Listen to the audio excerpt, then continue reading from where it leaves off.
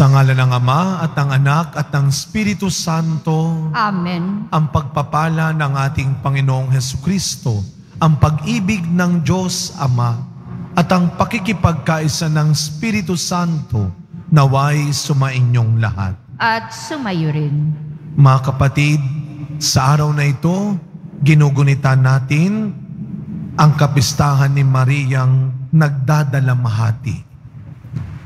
Upang maging karapat dapat tayong tumanggap ng mga bagong biyaya at himala ng Diyos sa misang ito. Tumahimik po muna tayong sandali. At nang may kababaang loob kasama ni Maria, humingi po tayo ng awa at patawad sa Diyos sa lahat ng inisip at ginawa nating kasalanan.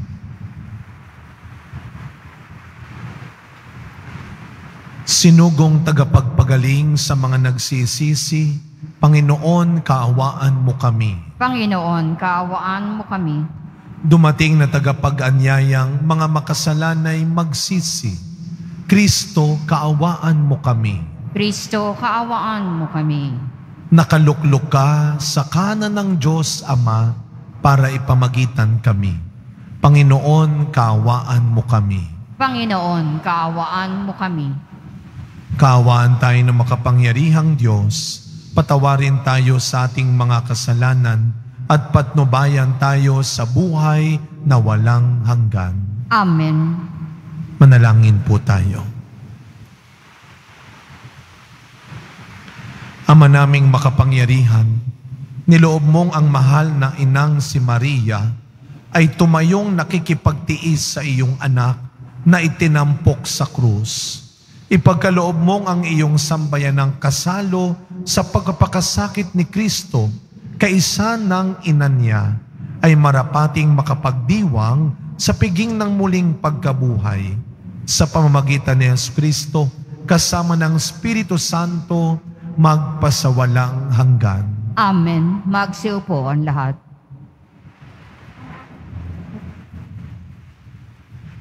Pagbasa mula sa sulat ng mga Hebreo. Noong si Jesus ay namumuhay rito sa lupa, siya'y dumalangin at lumuluhang sumamo sa Diyos na makapagliligtas sa Kanya sa kamatayan. At dininig siya dahil sa lubusan siyang nagpakumbaba. Bagamat siya'y anak ng Diyos, natutuhan niya ang tunay na kahulugan ng pagsunod sa pamamagitan ng pagtitiis. At nang maganap na niya ito, siya'y naging walang hanggang tagapagligtas ng lahat ng sumusunod sa Kanya. Ang Salita ng Diyos. Salamat sa Diyos.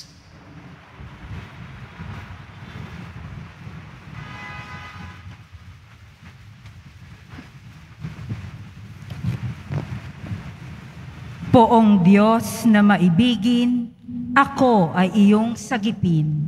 Poong Diyos na maibigin, ako ay iyong sagipin. Sa iyo, O Poon, ako'y lumalapit upang ingatan mo nang hindi malupig. Ang aking dalangin laging sinasambit.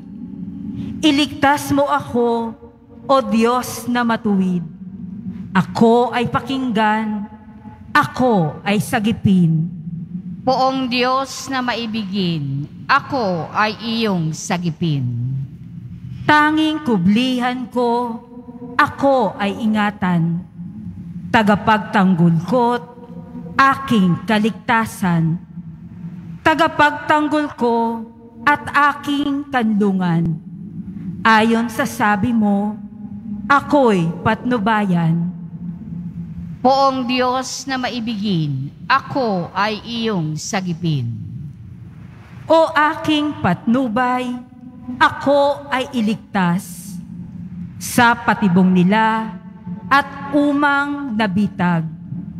Sa mga kamay mo, habiling ko'y buhay ko, tagapaglistas kong tapat at totoo. Poong Diyos na maibigin, ako ay iyong sagipin. Subalit, o poon, ang aking tiwala ay nasa sa iyo, Diyos na dakila. Sa iyong kalinga, umaasa ako. Laban sa kaaway, ay ipagtatanggol mo. At sa umuusig, sa sinumang tao. Poong Diyos na maibigin, ako ay iyong sagipin.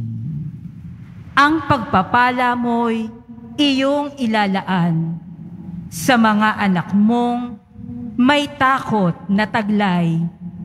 Kagila-gilalas, malasin ninuman ang pagkalinga mo sa mga hinirang na nangagtiwala sa iyong pagmamahal. Poong Diyos na maibigin, ako ay iyong sagipin. Magsitayo ang lahat. Mahal naming inang birhen, kami iyong akayin, damayan ng iyong anak, sa sugat ni Hesu Kristo, gawin mo kaming kasalo ng may pagsintang wagas, habang kami nabubuhay, gawin mo kaming karamay sa tiniis ni Kristo. Kami ay iyong isama sa hirap at pagdurusa kasama sa Kalbaryo. Mahal na birheng umaran sa galak at kalungkutan susunod kami sa iyo sa tiisin na tagumpay sa krus at kaligayahan ng poong Heso Kristo sa sugat ng manunubos sa pagpako niya sa krus karamay niya kami ang hirap sa sanlibutan, sa langit may kasiyahan, kapag si Kristo'y katabi. Sa krus ni Jesus kasalo, kaya sa langit panalo, ang karamay niyang tapat, sa pagpanaw sa daigdig, Ipisan kami sa langit upang laging magalak.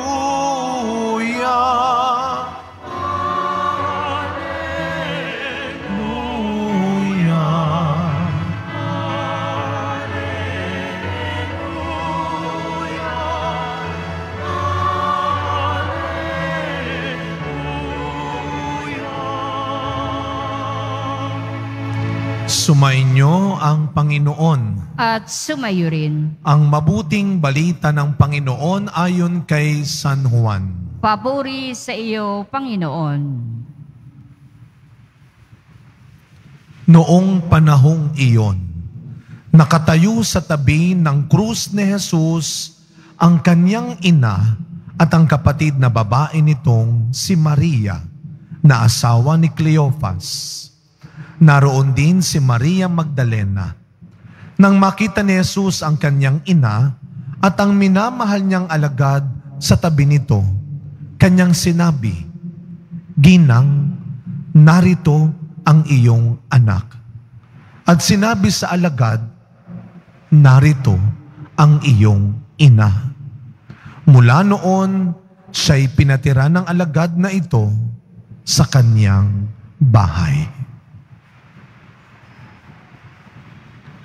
Mga kapatid, ang mabuting balita ng Panginoon. Pinupuri ka namin, Panginoong Heso Kristo. Magsiupo ang lahat. Good afternoon po sa inyong lahat. Batiin natin ang mga katabi natin. Good afternoon. At mga kapatid, sabay-sabay nating papurihan, pasalamatan ang ating mahal na Panginoong Jesus Nazareno. Malakas na palakpak ng papuri at pasasalamat para sa Kanya. Na? Singtingkad ng init ng araw, no? Siguro ay damang-dama na ho natin ulit. Parang nung mga nagdaang linggo at buwan, tayo po ay basang-basa at lamig na lamig. Ngayon, pag dito kayo, tinignan nyo dyan, nakakaduling na kayo sa kakapaypay po ninyo talaga. Ah, sa sobrang init ulit. At parang nakikiisa yung yung panahon na ito sa pagdiriwang nating kahapon at ngayon. Kahapon, 14 ng Setyembre. Anong pinagdiwang ho natin? Kapistahan ng pagtatanghal ng krus na banal. Exaltation of the cross. At wag nating kalilimutan, baliwala ang krus kung wala si Jesus. Para sa ating mga Kristiyano, baliwala ang krus kung wala si Jesus. Sapagkat dati, ang krus ay simbolo ng kahihiyan. Yung mga kriminal, ipinapako sa krus. Ipinapakita sa harap ng mga tao. Sorry for the word. Yung mga pinapako sa krus, walang niya ang taong ito. Kaya kahihiyan. Pero, dahil kay Kristo, ang dating simbolo ng kahiyan, naging tanda ng ating kaligtasan. Salamat kay Jesus na nag-alay ng buhay sa krus para sa ating kaligtasan. Palakpakan muli natin ang ating Panginoon, ang ating kaligtasan. Na, uh, kanina, Nung sa simula ng misa natin, nasabi ko po, ipinagdiriwang natin ngayon ang kapistahan ni Mariang nagdadalamhati. Tapos bigla kong naisip, parang ang pangit nung sinabi ko. Pinagpipiestahan natin ang paghihirap ng isang tao. Wow! Real talk tayo. Di ba ganyan naman tayo minsan? Pinagpepiestahan natin ang paghihirap ng ibang tao.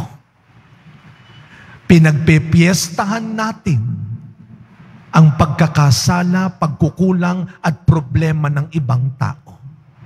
Pinagpepiestahan natin ang kahinaan, ang kapintasan ng ibang tao. Anong klaseng mundo meron tayo ngayon? Bakit tuwang-tuwa tayo pag napapahiya ang ibang tao? Bakit tuwang-tuwa tayo pag kinukutsa ang ibang tao? Bakit tuwang-tuwa tayo kapag naghihirap ang ibang tao, kapag pinahihirapan ng ibang tao, tuwang-tuwa tayo? Eh Father, ano tong piyesta natin ngayon? Masdan ninyo si Maria sa harap natin. Lumuluha. Ito ang inaalala natin. Pero wag nating kalimutan, Hindi po yung paghihirap ni Maria, hindi yung pagluha ni Maria, hindi yung pagdadalamhati ni Maria ang ginugunita, ang ipinagdiriwang natin ngayon, kundi ang katapatan ni Maria. Sa kabila ng kanyang paghihirap, lungkot, at pagdadalamhati, na natiling tapat si Maria sa paanan ng krus ni Jesus. Balikan natin, no? Yung eksena nung si Kristo ay unti-unti nang nauubusan ng hininga sa krus. Nung si Kristo ay pinahirapan. Nung si Kristo ay pinagtatawanan sa krus. Huwag mong kalilimutan, hindi lahat ng nasa paanan ng krus, hindi lahat ng nasa harap ni Jesus na naghihirap ay natutuwa sapagkat may isang babaeng labis na lumuluha. Habang ang iba ay tumatawa, ay natutuwa sa paghihirap at pagtitiis ni Kristo, may isang babaeng lumuluha at tumatangis. Kung napanood ninyo yung pelikula, the passion of Christ. Kung babalikan nyo yung eksena nung si Kristo ay malapit ng mamatay, si Maria nasa paanan ng krus, wala siyang sinasabi. Pero anong ginawa nung direktor?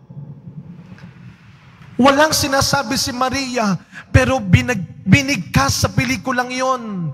Yung siguro gustong sabihin ni Maria, Anak, kung pwede, ako na lang. Mga nanay, kailan niyo po huling nasabi yan? Naalala ko po yung sarili kong nanay. Nung ako'y nasa seminaryo, nagkasakit ako ng malubha, na aksidente ako. Binigyan ng tsansa, hindi 50-50, 30-70. 70, tsansang mawala na. 30 na lang ang pwede pa. Ano daw ang sabi ng nanay ko? Nung ako ay nakasurvive, sabi niya sa akin, alam mo, nung mga panahon na yon, sabi ko sa Diyos, Diyos ko, kung kukunin mo, kunin mo na. Sabi ko, wow ma, grabe ka naman, sinuko mo ko kagad. Sabi niya, alam mo kasi, parang mas mauuna pa akong mamatay habang tinitignan kita. Ganyan ang puso ng isang ina. Kung pwede, ako na lang. At yun ang ipinagdiriwang natin ngayon. At yun ang ibinibigay at tinuturo sa atin ni Maria ngayon. Huwag ka nang dumagdag sa mga natutuwa sa paghihirap ng ibang tao. Huwag kang masyadong nalilibang kapag naghihirap ang ibang tao. Huwag ka masyadong nasasanay na natutuwa ka kapag nagtitiis, naghihirap, nagkakamali ang ibang tao. Kahapon sa ating I-Thursday feeding program ng Quiapo, alam niyo po, kahapon 393 ang ating mga napakain sa tulong ng mga binibigay ninyo. Sabi ko, wow, siguro yung pito, tinanghali ng gising. 400 na sana eh. Pero marami po tayong volunteers, may mga tumatawag na, pumupunta sa social service office, gusto mag-volunteer. Kasama kahapon ng ilang mga lingkod ng simbahan ulit, marami sa kanilang mga nanay. Siguro tinitignan ko, malamang itong mga nanay na ito may trabaho rin sa bahay nila, sa pamilya nila. Pero bakit nandito sila nagpapakain ng mga taong kalye? Nagpapakain ng mga taong hindi nila kaano-ano marahil. Regalo ng Diyos sa puso ng isang ina, ng isang babae. Ang sadyang maawa. Ang sadyang mag-alaga. Mga kapatid, sa misang ito, hindi natin binabalikan lang at inaalala ang paghihirap ng ibang tao. Ipakiusap natin sa Diyos sa misang ito sa tulong ni Maria, Huwag na, na tayong dumagdag pa sa maraming taong lumuluha, naghihirap, at nagdadalamhati. Ito lagi kong binabalikan kapag nanay ang pinag-uusapan. Hindi perpekto ang lahat ng tao, kaya walang perpektong relasyon ng magnanay. Ito, isa kong laging iniisip at tinatanong, Siguro makaka-relate yung maraming anak dito. Mga nanay, may isa akong malaking tanong sa inyo. Bakit po ba kayong mga babae, kayong mga nanay, pag nagdadala kayo ng bag, kung hindi ang laki-laki, ang bigat-bigat, bakit ba ganyan ang mga bag ninyong mga nanay? Kundi ang laki, ang bigat, Minsan, aalis kami ng nanay ko, ang laki-laki ng bag niya. Sabi ko, ma, ang laki naman ng bag mo. Ang bigat-bigat. Mag-overnight ka ba? Nagagalit. Alam niyo, lagi sinasabi sa akin, na, bitawan mo yan. Hindi ko pinapabuhat sa iyo yan. Hindi sa iyo yan. Huwag mong buhatin yan. Huwag mong kunin yan. Sa pagkapatuloy na misa natin, sinasamahan tayo ni Maria, hindi lang para buhatin ang krus ng paghihirap, problema at pagsubok sa buhay natin. Sinasamahan, tinuturuan din tayo ni Maria na bitawan mo, tanggalin mo yung mga bagay na hindi naman para sa iyo at hindi dapat sa iyo. Hindi mo kaya lahat. Hindi ikaw lahat. Kasama ni Maria, huwag kang matakot, huwag kang madamot, na tulungan ng iba na mabawasan at hindi madagdagan, na gumaan at hindi sila mahirapan sa mga krus ng buhay na pinapasan ng iba. Maria, ina ng bawat deboto ng Nazareno, tulungan mo kaming magpasan hindi lang ng aming krus, kundi ng krus ng aming kapatid. Amen.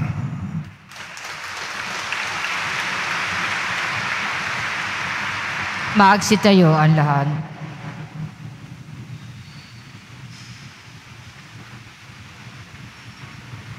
Minamahal kong mga kapatid, kasama ni Maria na nakababatid kung ano ang kahulugan ng pagdurusa. Manalangin tayo sa Diyos para sa mga taong may mabibigat na pinapasan habang sinasabi natin, panatilihin mo kaming tapat na tulad ni Maria o Panginoon. Panatilihin mo kaming tapat na tulad ni Maria o Panginoon. Ang mga nabibigatan dahil sa dalamhati at mga pagsubok, naway makatagpo ng kapayapaan at ginhawa ng loob habang pinagninilayan ang mga pighati ni Maria. Manalangin tayo. Panatilihin mo kaming tapat na tulad ni Maria, O Panginoon. At tinawang tanggapin ang mga pighati at pagdurusa sa buhay at makita ang presensya ng Diyos sa mga iyon Manalangin tayo. Panatilihin mo kaming tapat na tulad ni Maria, O Panginoon. Sa pamamagitan ng halimbawa ni Maria, tayo naway maging matiisin sa pagdurusa at masigasig sa pagtupad ng mabubuting gawa. Manalangin tayo. Panatilihin mo kaming tapat na tulad ni Maria, O Panginoon. Sa gitna ng mga kahirapan at pagsubok sa ating pang-araw-araw na buhay, matuklasan nawa natin ang tunay na kahulugan ng buhay kristyano. Manalangin tayo. Panatilihin mo kaming tapat na tulad ni Maria, O Panginoon. ang mga nagdurusa dahil sa karamdaman naway makatagpo kay Maria ng tunay na kanlungan at aliw. Manalangin tayo. Panatilihin mo kaming tapat na tulad ni Maria, O Panginoon. Tahimik po nating ipagdasal ang iba pa nating personal na kahilingan, ang intensyon ng ating mga pamilya at ang mga taong ipinangako nating ipagdarasal natin. Patuloy nating ipagdasal ang mga kapatid nating katutubo at bilanggo, ang pamilya ng mga kapatid nating biktima ng iba't ibang kalamidad, karahasan sa ating bansa, ang mga kapatid nating walang maayos na tirahan at makain araw-araw, at ang mga kababayan nating nagtatrabaho sa malalayong lugar sa ibang bansa para sa kanilang pamilya. Ama naming maawain, higit pa sa lahat ng aming inaasam ang iyong balak para sa mundo. Panatilihin mo po kaming nagtitiwala sa kapangyarihan ng iyong mapandigtas na pag-ibig. Hinihiling namin ito sa pangalan ni Kristong aming Panginoon. Amen. Magsiyo po ang lahat.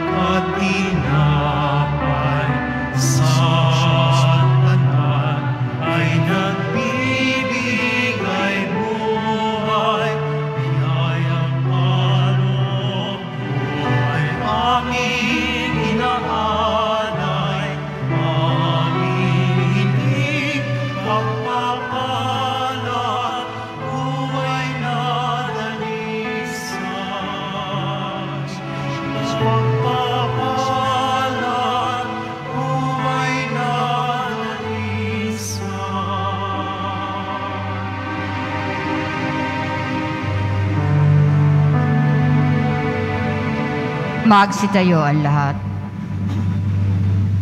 Manalangin kayo mga kapatid upang ang paghahain natin ay kalugdan ng Diyos amang makapangyarihan. Tanggapin nawa ng Panginoon itong paghahain sa iyong mga kamay, sa kapurihan niya at karangalan, sa ating kapakinabangan at sa buong sambayan niyang banal. Ama naming lumikha, tanggapin mo po ang aming panalangin at mga alay para sambahin ang ngalan mo sa aming paghahain. Ngayong aming ginugunita ang birheng mahal na niloob mong maging ina naming maaasahan sa kanyang pagtayo sa paanan ng krus ni Jesus. Iniluluhog namin ito sa pamamagitan ni Jesus Kristo kasama ng Espiritu Santo magpasawalang hanggan. Amen. Sumainyo ang Panginoon. At sumayo rin. Itaas sa Diyos ang inyong puso at diwa. Itinaas na namin sa Panginoon. Pasalamatan natin ang Panginoong ating Diyos. Marapat na siya ay pasalamatan. Ama naming makapangyarihan, tunay nga pong marapat na ikaw ay aming pasalamatan. Bukod mong pinagpalang maging ina ni Heso Kristo, ang mahal na birheng na pupuri at nagagalak sa iyo. Ikaw ang gumawa ng tanang dakilang bagay. Ikaw ang lumilingap sa lahat kailanman. Nilingap mo ang mahal na birhen bilang iyong abang alipin na iyong binigyan ng tungkuling kumalinga sa anak mong manunubos namin. Kaya kaisa ng mga anghel na nagsisiawit ng papuri sa iyo nang walang humpay sa kalangitan, kami nagbubunyi sa iyong kadakilaan.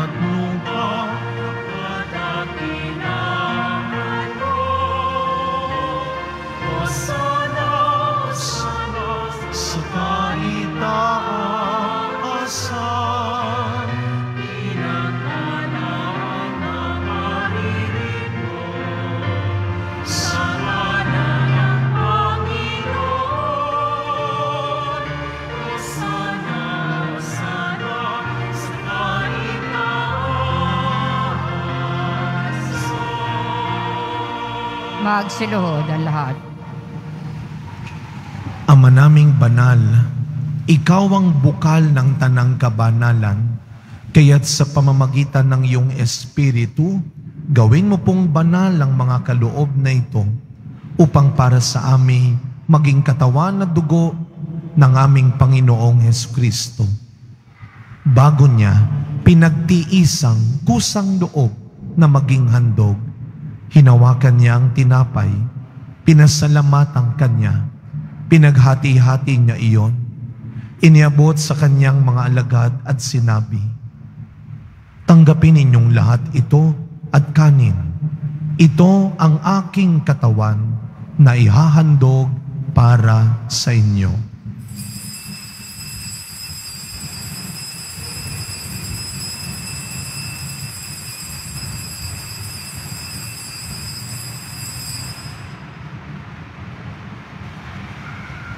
Gayun din naman nung matapos ang hapunan, hinawakan niya ang kalis, muli kanyang pinasalamatan.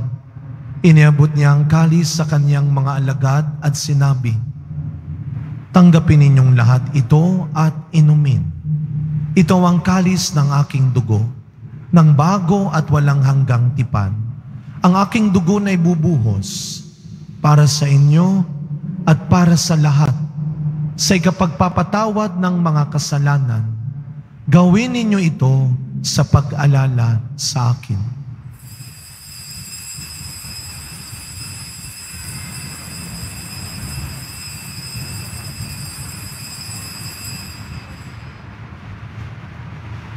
Magsitayo ang lahat. Ang misteryo ng pananampalataya. Si Kristo'y namatay, si Kristo'y nabuhay, si Kristo'y babalik sa wakas ng panahon. Ama, ginagawa po namin ngayon ang pag-alala sa pagkamatay at muling pagkabuhay ng iyong anak. Kaya tinaalay po namin sa iyo ang tinapay na nagbibigay buhay at ang kalis na nagkakaloob ng kaligtasan. Kami po ay nagpapasalamat dahil kami iyong minarapat na tumayo sa harap mo para maglingkod sa iyo. Isinasamo namin kaming magsasalo-salo sa katawan at dugo ni Kristo ay mabuklod sa pagkakaisa sa pamamagitan ng Espiritu Santo.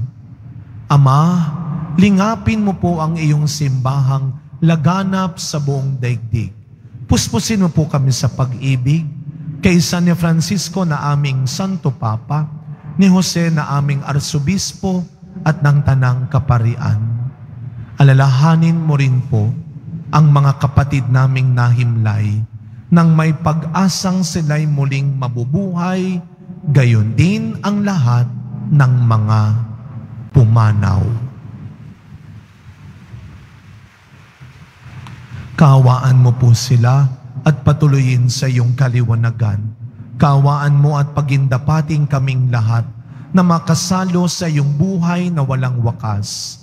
Kaisa ng mahal na Birheng Maria na ina ng Diyos ng kabiyak ng puso niyang si San Jose, kaysa ng mga apostol, San Juan Bautista, Padre Pio, Mother Teresa ng Calcutta, at ng lahat ng mga banal na namuhay dito sa daigdig ng kalugod-lugod sa iyo, maipagdiwang nawa namin ang pagpupuri sa ikararangal mo sa pamamagitan ng iyong anak na aming Panginoong Heso Kristo.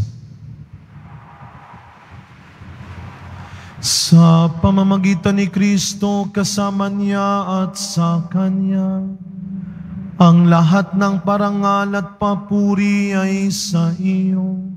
Diyos samang makapangyarihan, kasama ng Espiritu Santo, magpasa walang hanggan.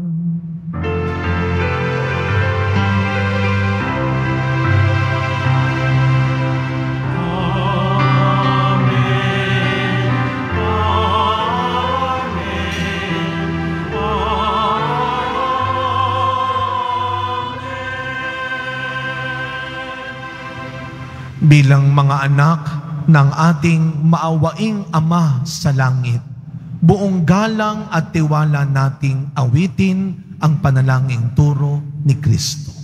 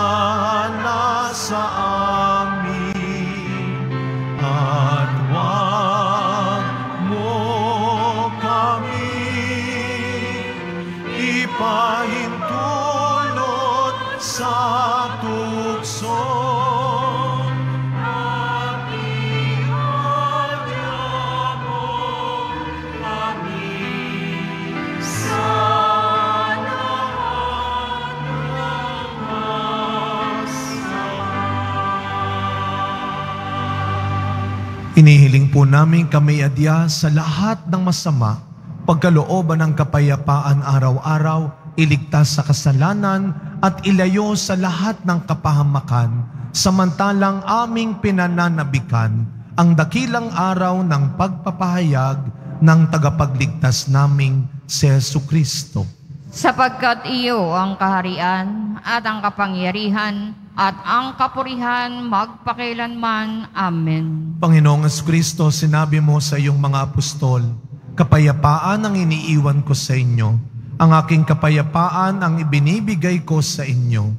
Tunghayan niyo po ang aming pananampalataya at huwag ang marami at paulit-ulit naming pagkakasala. Pagkalooban po kami ng kapayapaan at pagkakaisa ayon sa iyong kalooban. Kasama ng Espiritu Santo, magpasawalang hanggan. Amen. Ang kapayapaan ng ating Panginoon ay laging sumainyong lahat. At sumayo rin. Kasama ni Maria, araw-araw maniwala at magtiwala pa rin na may darating na biyaya at mangyayaring himala. Magbigayan po tayo ngayon ng kapayapaan sa isa't isa. Peace be with you po. Kordero ng Diyos na nag-aalis ng mga kasalanan ng sanlibutan, maawa ka sa amin. Kordero ng Diyos na nag-aalis ng mga kasalanan ng sanlibutan, maawa ka sa amin. Kordero ng Diyos na nag-aalis ng mga kasalanan ng sanlibutan, ipagkaloob mo sa amin ang kapayapaan. Magsiluhod ang lahat.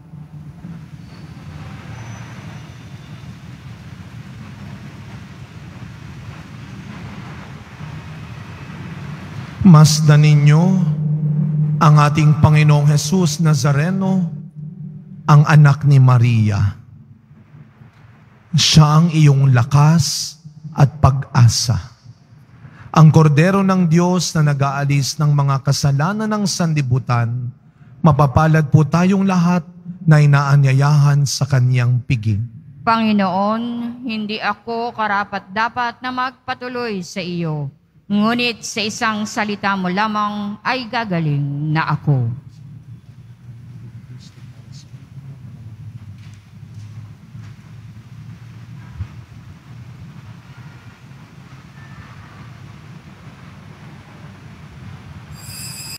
Para sa lahat ng tatanggap ng banal na komunyon, sasagot po tayo ng amen pagkasabi ng pari o ng lay minister ng katawan ni Kristo. At isubo agad sa bibig bago umalis sa harapan ng pari o lay minister. Sumunod po tayo. Maraming salamat po.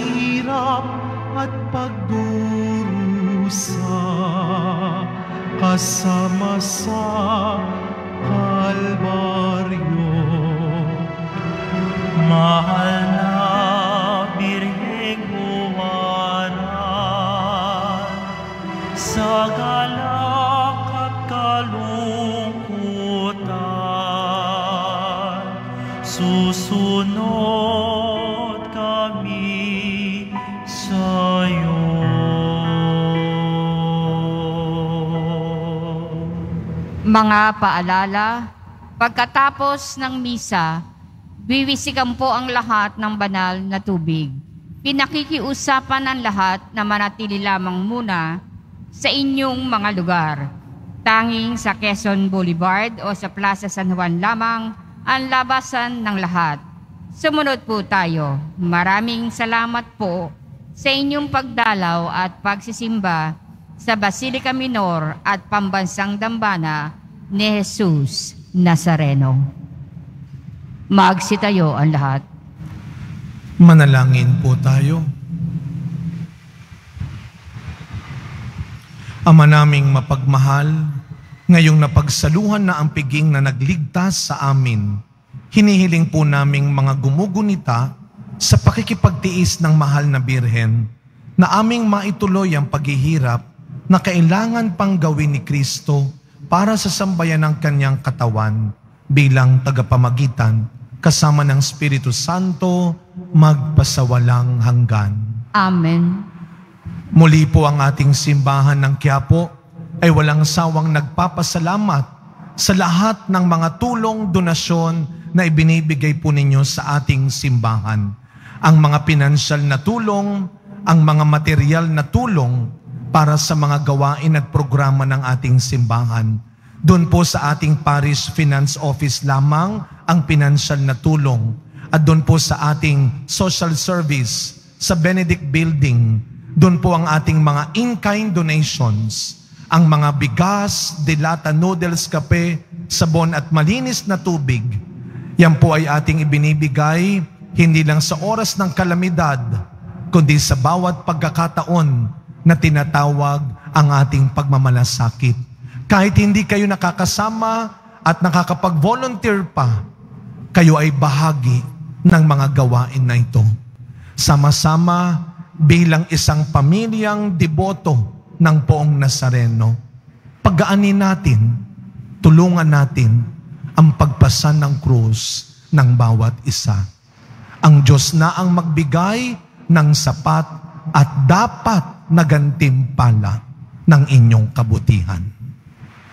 Sumainyo ang Panginoon. At sumayo rin. Yumuko po kayo habang ginagawad ang pagbabasbas. Mahal na poong Jesus Nazareno, inihayag mo sa pamamagitan ng krus ang walang maliw na pag-ibig ng Diyos sa sangkatauhan. Pakinggan mo po ang kahilingan ng iyong angkan na nagsusumamo sa iyo.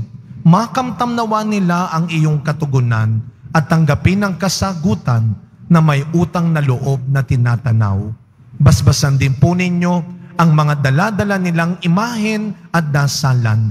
Sa pamamagitan ng bendisyon na ito, naway maalaala nila ang mga pangako nila noon sa binyag na ikaw ay kanilang iibigin at paglilingkuran bilang Panginoon magpasawalang hanggan. Amen. Naway pagpalain at ingatan ang inyong pamilya ng ating mapagbigay na Diyos, Ama, Anak, at Espiritu Santo.